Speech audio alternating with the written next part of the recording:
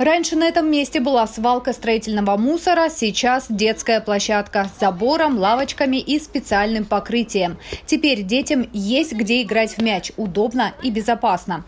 Идея активных жителей улицы Бамбуковой – воплощение депутатов городского собрания Сочи.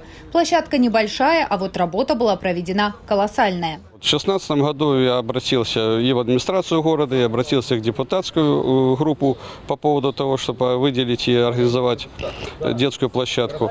Что было со стороны депутатов понято с пониманием. Работа уже длилась на протяжении ну, года полтора-два, наверное, подготовительная только.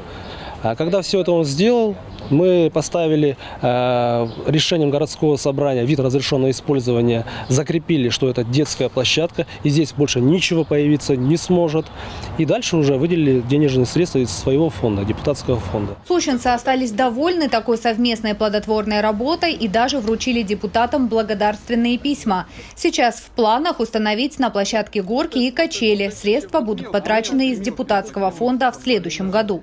Это очень важное для микрорайона место, потому что, ну, вот я еще раз говорю, много детей, высокая плотность застройки, высотные здания, практически людям негде э, выйти и э, поиграть. Очень важно, что жители принимали э, большущее, так сказать, главное, можно даже сказать, инициаторы были, участвовали, вывозили мусор, организовывали. И вообще эту стройку как бы лелеют и ведут. А вот эта территория в 700 квадратных метров также не без помощи депутатов по 12-му Новосочинскому избирательному округу должна превратиться в небольшой сквер.